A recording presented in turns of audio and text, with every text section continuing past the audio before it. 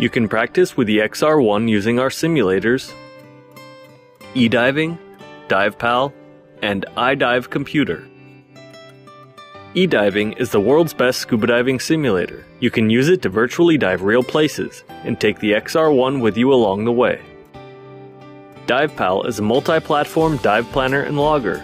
You can use DivePal to log your dives and see how the XR1 responds to them. iDive Computer is the first commercially available app that runs a decompression algorithm in real time and puts a dive computer in your smartphone. You can use iDive Computer to take your XR1 for a virtual dive on your smartphone. When you enroll in the XR1 online class, the simulator for the XR1 dive computer will automatically be added to your dive computer training account, so you can use it for free for 30 days in eDiving, DivePal, and iDive Computer. To get our simulators, click on the link to the right. Press next at the bottom of the screen.